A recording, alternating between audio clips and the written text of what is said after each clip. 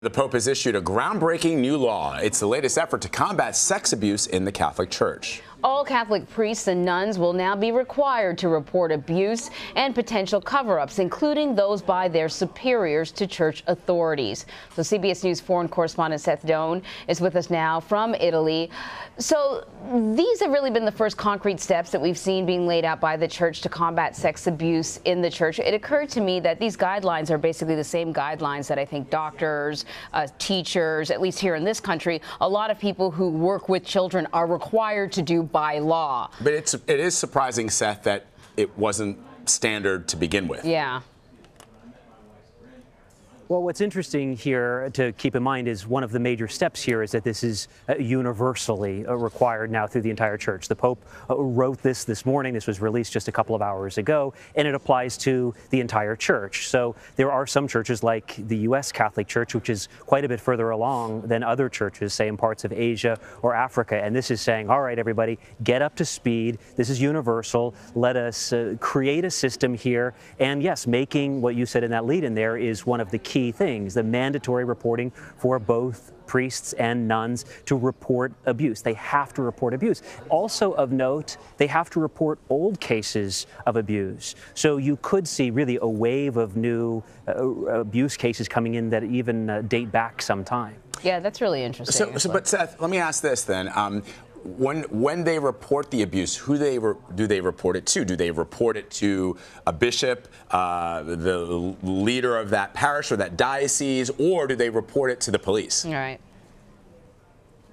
well, they notably do not, it is not mandatory for them to report it to the police, which is one of the criticisms, but it is mandatory for them to follow civil laws. So if you're in a country where you're supposed to report abuse, which is, of course, many countries in the world, now it is mandatory for anyone uh, to report that abuse to civil authorities. But it still does keep this in the realm of the church. Now, uh, how it's reported depends on where the abuse takes place, but it does set up a very uh, specific system to deal with that. And it, and it deals significantly with the issue of covering up abuse. And uh, this issue, which we looked at, of course, you remember quite a bit back in February when they held that landmark sex abuse summit at the Vatican. The issue of uh, covering up was one of the biggest issues within the church. So now there is a system in place uh, that they, they can deal with that. Uh, most of it goes through these investigations are handled with by uh, someone called the Metropolitan, which is generally the Archbishop. The Metropolitan is, in essence, over the, it's kind of the biggest Archbishop um, of a region.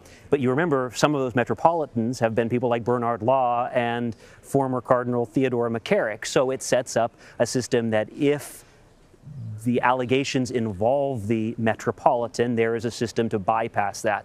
They also say you have to report to the metropolitan or the metropolitan's number two if the metropolitan is involved, and in addition to that reporting, you also have to report uh, the cases of or the allegations of bishop abuse directly to the Vatican as well. So they're saying there'll now be uh, two channels that uh, this mandatory reporting in the case of a, of a, of a bishop uh, must be carried out. So I know. Does that uh, make sense? it, it, does. It does make sense. Yeah. Um, I, I, know it was just released uh, this morning, this new law. So people are just getting a look at it. But do we have reaction at all from those who are close to the Catholic Church or within the church?